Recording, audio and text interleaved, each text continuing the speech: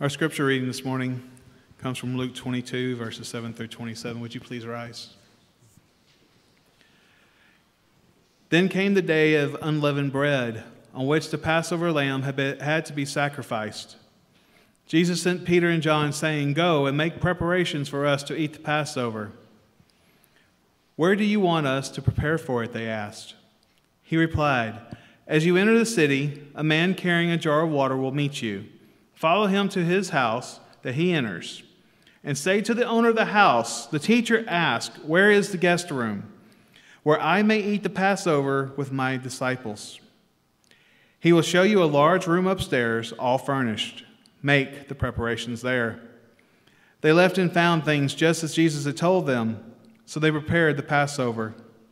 When the hour came, Jesus and his apostles reclined at the table, and he said to them, I have eagerly desired to eat this Passover with you before I suffer. For I tell you, I will not eat it again until it finds fulfillment in the kingdom of God. After taking the cup, he gave thanks and said, Take this and divide it among you. For I tell you, I will not drink again from the fruit of the vine until the kingdom of God comes. And he took bread, gave thanks, and broke it and gave it to them, saying, This is my body given for you. Do this in remembrance of me. In the same way, after the supper, he took the cup, saying, This cup is a new covenant in my blood, which is poured out for you. But the hand of him who is going to betray me is with mine on the table.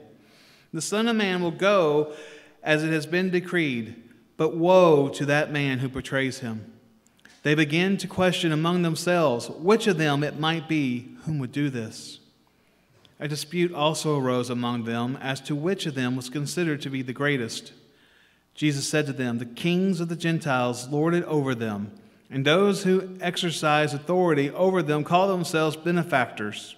But you are not to be like that. Instead, the greatest among you should be like the youngest, and the one who rules like the one who serves. For who is greater, the one who is at the table or the one who serves? Is it not the one who is at the table? But I am among you as one who serves. The word of the Lord for the people the Lord. Praise, Praise be to God.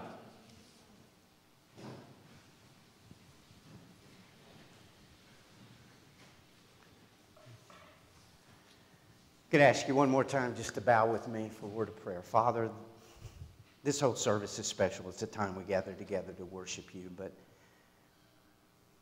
your word is powerful, it's sharper than a two edged sword, it's alive, it accomplishes the things for which you purposed it.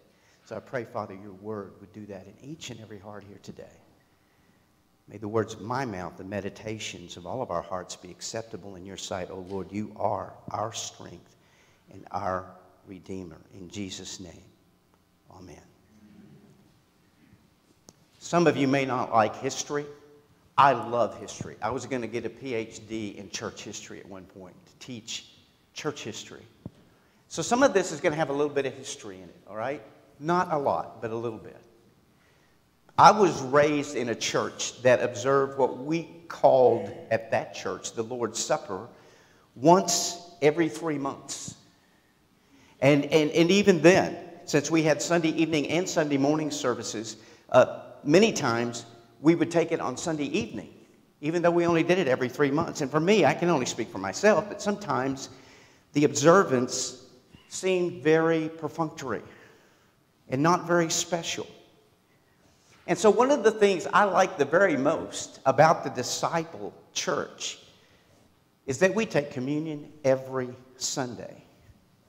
And even though there's no directive or direct instruction in the Bible to observe the meal every Sunday, I believe an honest reading of the book of Acts at least leads me to conclude that they did partake of the meal every Sunday.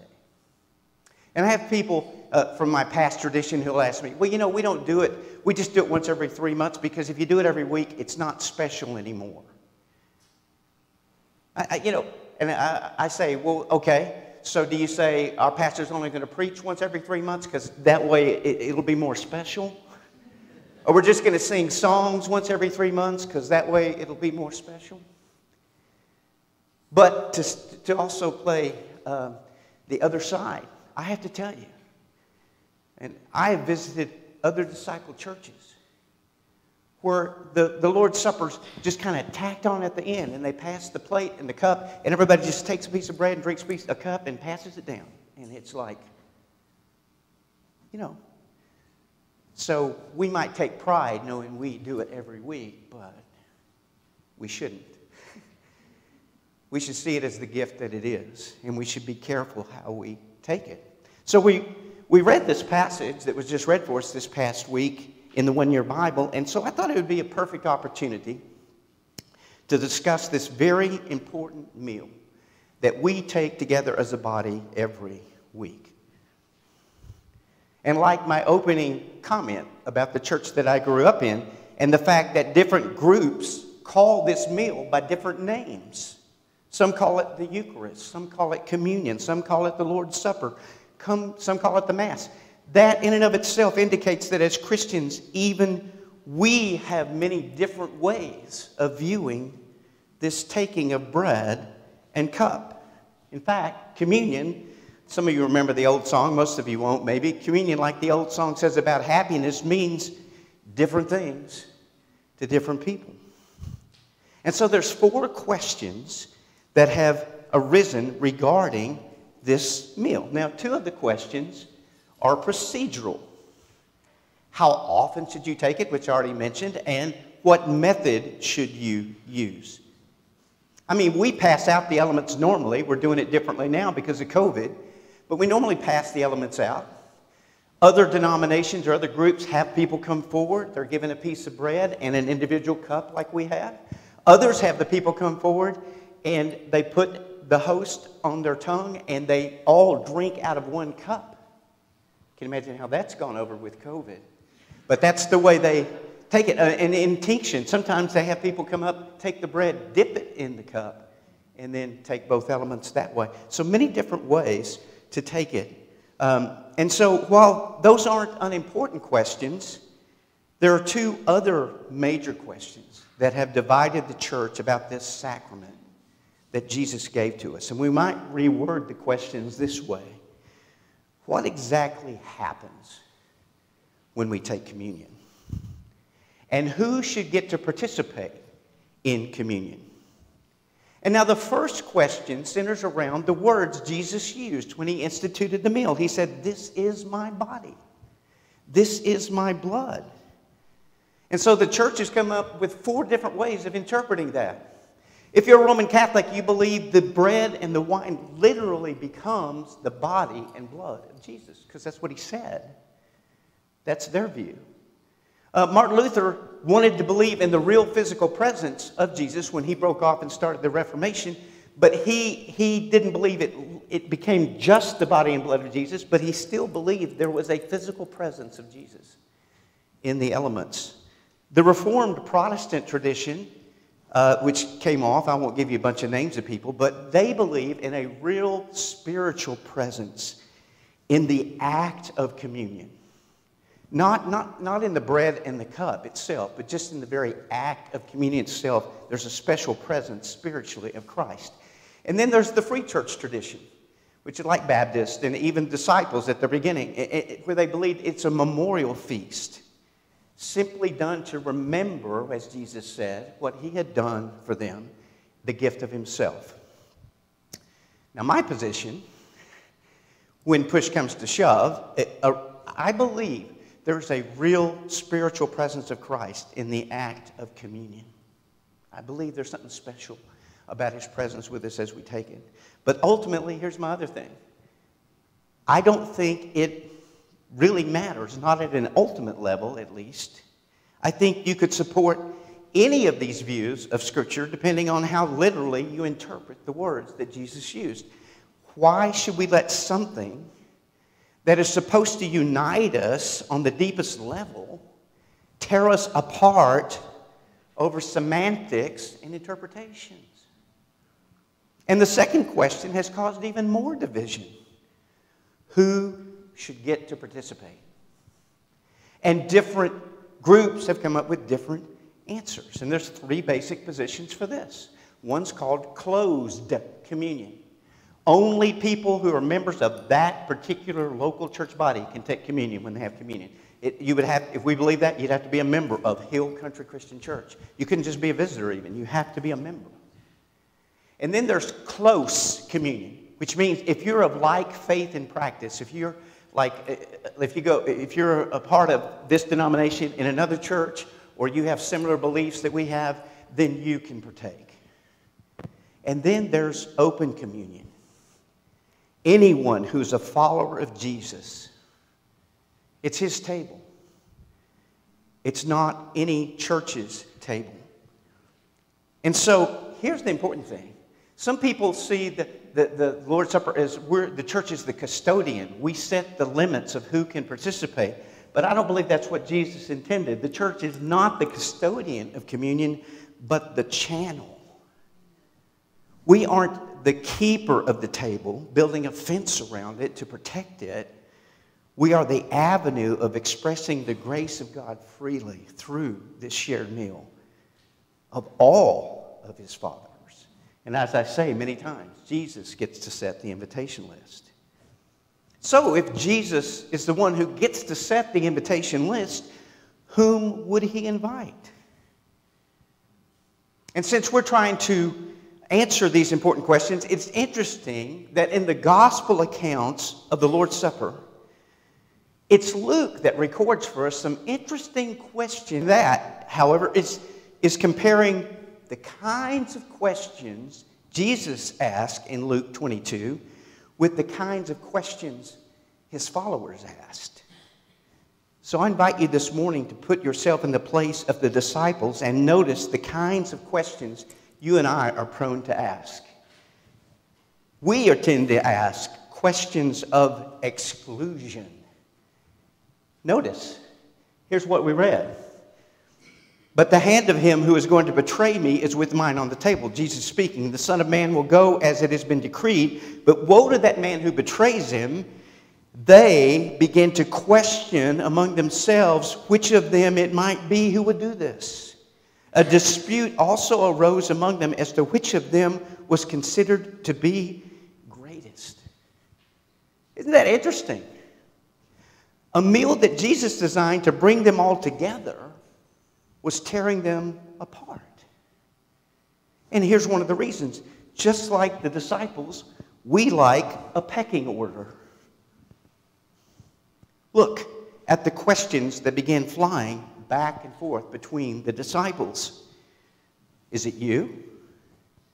Are you the one who's going to betray Jesus? Because I know it's not me.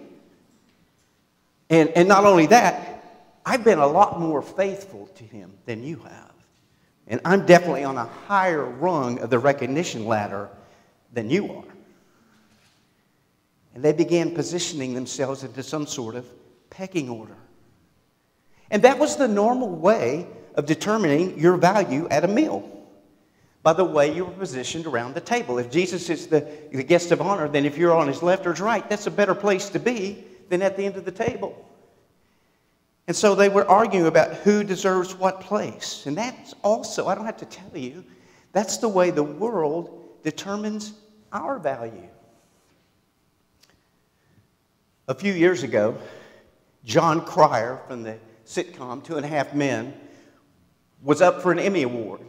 He didn't know he was going to win it, but he won the award, and he began his speech this way You know, I used to think that awards were just shallow tokens of momentary popularity. But now I realize that they are the only true measure of a person's real worth as a human being. Because he won. It's tongue in cheek, of course. And we laugh at that, but it's so true of the culture we live in. And things haven't changed that much in the past 2,000 years. In fact, when the Protestant Reformation began, Martin Luther began it in Germany, breaking off from the Catholic Church. For, he had his reasons why he felt that was necessary. Almost at the same moment, a man you'd probably never heard of, Ulrich Zwingli, down in Switzerland, also broke out, broke forth.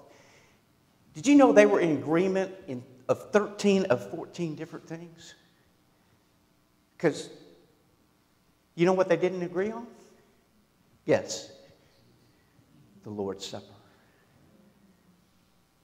Zwingli thought it was more a memorial meal. He said, Martin, grab my hand, be my brother. Martin Luther wrote on his slate, This is my body. End of discussion. And that's why the Protestants have been splintering ever since.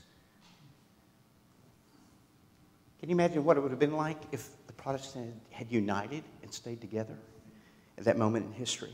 How ironic and tragic that this very meal that Jesus began to unite us has instead divided Christians across the centuries. Not a good look to an unbelieving world. Because here's the reality as Christians, we are called to work through conflicts. Christian unity is not based on agreeing with each other over every issue. By unity, the Bible means first and foremost, a oneness of heart, a relational unity, being kind to one another, gracious to one another, forgiving of one another, not assuming the worst of each other, not shooting the wounded, not being quick to be suspicious. Biblical unity is about working through conflicts, avoiding slander and gossip, and being generous in spirit. So, pointing fingers excluding others, doing things to make us feel better about ourselves is all part of the human condition. But it certainly isn't the way Jesus approaches things. Look at the questions Jesus asked questions of inclusion. Look what he said. Here's what, it, where do we want to us to prepare it? The disciples asked Jesus. He replied, As you enter the city, a man carrying a jar of water will meet you. Follow him to the house that he enters and say to the owner of the house, The teacher asked, Where is the guest room where I may eat the Passover with my disciples? And when the hour came, Jesus and his apostles reclined at the table, and he said to them, I have eagerly desired to have this Passover with you before I suffer. And later in the chapter, Jesus said to them, the kings of the Gentiles lorded over them, and those who exercise authority over them call themselves benefactors. But you are not to be like that. Instead, the greatest among you should be like the youngest, and the one who rules like the one who serves. Here's the question for who is greater? The one who's at the table or the one who serves? Is it not the one who is at the table? But I am among you as one who serves. Jesus' questions revolve around finding a special place to have a special meal with people who are important to him. Jesus was not looking forward to what the cross had to offer him. In the Garden of Gethsemane, we see just how much he struggled with what was about to happen to him. He didn't want to have to endure the humiliation and the shame and the pain and the agony. But there was one thing during this last week of his life that he was looking forward to. He had spent three years with 12 men, and they had forged relationships that were bound together by blood, sweat, and tears. They had experienced the agony and the ecstasy together. And in that upper room, Jesus said, I have eagerly desired to eat this Passover meal with you. And Jesus' other questions, as we looked at it, deals with who is greater the one who sits at the table or the one who serves the person sitting at the table. And you know, from the world standpoint, that's a no brainer. But Jesus had a different answer. He identifies with those who serve, and he calls us to do the same. Because you know what? If you sit at the table, then you always have to be concerned about your position, where you rank. Am I in a place of honor? Or am I seated at the lowest end of the table? But you know what? If you take the place of a servant, you're just glad to be included. So here's the incredible truth Jesus still eagerly desires to eat a meal you and me. Jesus hasn't changed his mind. He still eagerly desires each and every week to eat this meal with you and me Because you know why? Eating a meal with somebody has a special significance. Why is eating together important? Because it says something about the equality we have in Christ. That God doesn't show any favoritism or partiality. I mean, you, you, know this. You don't eat a meal with somebody unless you want to be with them. Because over a meal, we, we share and we talk and we laugh and we get to know each other in a more intimate way than any other type of conversation. And that's why when Jesus walked this earth, the greatest insult the Pharisees could think of to hurl at Jesus in their minds was look at him. He eats with tax collectors and sinners. I mean, to the Pharisees, you might have to rub elbows with those people out on the street, but you're sure not going to sit down and eat a meal with them. But Jesus does. He still does. Aren't you glad? I don't recall a single invitation to a meal that he ever turned down. Jesus never turned down an invitation to eat with somebody. And look at that. He went to eat at Simon the Pharisee's house, a religious man who was self righteous. And while eating with him, a woman who was a well known adulteress came to the table and washed Jesus' feet with her tears. Now, think about that. What extremes. Both at the same table with Jesus. I want to close with a story written by a man named Bob Benson. And I want you to listen. If you even want to close your eyes while I'm reading it. So pretend you're back in kindergarten. I wish I had some milk and cookies to pass out, but I don't. People my age or older will remember events like the one that I'm getting ready to share with you, to read to you, that he writes about. If you're too young to remember, you can still understand what's going on. And this is a great story about what it means for God to invite us to share a meal with Him. So let this sink in this morning really deep. Okay? Like I said, you can close your eyes, you don't have to. Here's the story. Do you remember when they had old fashioned church picnics? I do. As I recall, it was back in the olden days, as my kids would say, back before they had air conditioning. They said, We'll all meet at Sycamore Lodge in Shelby Park at 4:30 on Saturday. You bring your supper and we'll furnish the iced tea. But if you were like me, you came home at the last minute. When you got ready to pack your picnic, all you could find in the refrigerator was one dried up piece of bologna and just enough mustard in the bottom of the jar that you got it all over your knuckles trying to get it. And just two slices of stale bread to go with it. So you made your bologna sandwich and wrapped it in an old brown bag and went to the picnic. When it came time to eat, you sat at the end of the table and spread out your sandwich. But the folks who sat next to you brought a feast. The lady was a good cook and she had worked hard all day to get ready for the picnic, and she had fried chicken. No, no, I couldn't do that. I, I couldn't even think of it. You murmured in embarrassment with one eye on the chicken. Oh, come on. There's plenty of chicken and plenty of pie and plenty of everything, and we just love bologna sandwiches. Let's just put it all together. And so you did. And there you sat, eating like a king, when you came like a beggar. One day it dawned on me that God had been saying just that sort of thing to me. Why don't you take what you have and what you are, and I will take what I have and what I am, and we'll share it together? I began to see that when I put what I had and was and am and hope to be with what He is, I had stumbled upon the bargain of a lifetime.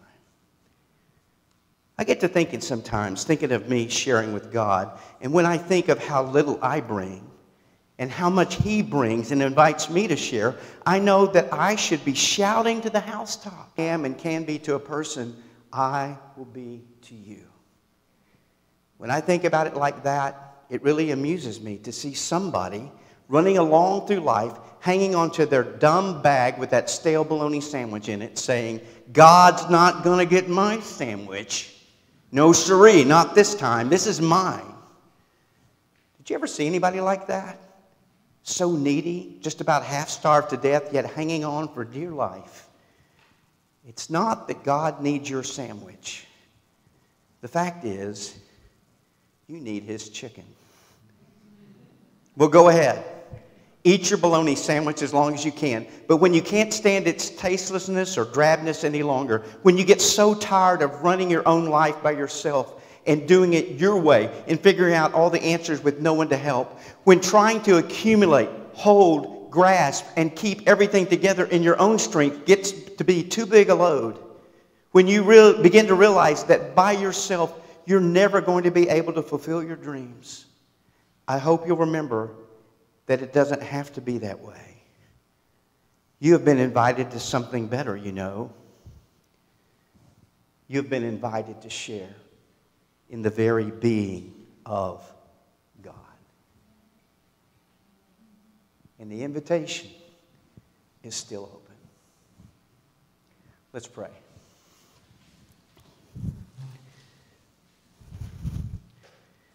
Dear Father, thank you for this wonderful story in your word. A meal that began 2,000 years ago, that as believers, we still get to participate in. And by the power and presence of your Holy Spirit, you're a risen Savior. You're alive today, and your Spirit is right here with us. And you share in this meal with us. And we thank you. We give you all the glory, and you give us all your grace. What a wonderful trade that is. In Jesus' name we pray. Amen.